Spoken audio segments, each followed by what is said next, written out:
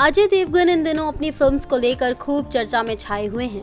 हाल ही में रिलीज़ हुई उनकी film Total Dhamaal, box office पर धमाकेदार कमाई कर रही है।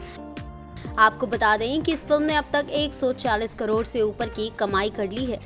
और तीसरे हफ़्ते में आने के बाद भी ये फ़िल्म लगातार कमाई कर रही है। और अब इस फ़िल्म के बाद अजय के फैंस उनकी अपकमिंग फिल्म्स को लेकर काफ़ी ज़्यादा एक्साइटेड हैं। और अजय भी टोटल धमाल के बाद अपने फैंस को दो धमाकेदार बायोपिक्स के साथ सरप्राइज़ देने वाले हैं। और अजय के फैंस के लिए फ़िल्में काफ़ी स्पेशल होंगी। तो कौन सी हैं ये फ़िल्में चलिए आपको बताते हैं।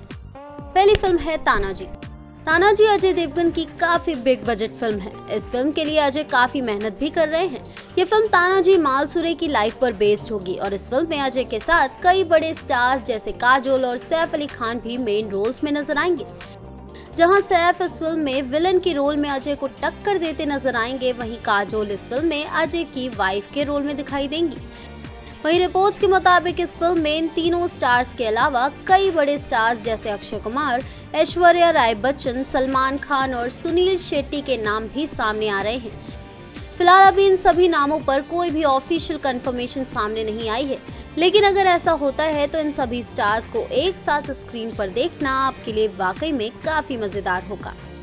दूसरी बायोपिक है फुटबॉल कोच सैयद अब्दुल रहीम की बायोपिक तानाजी के अलावा अजय फुटबॉल कोच सैयद अब्दुल रहीम की बायोपिक में भी नज़र आने वाले हैं।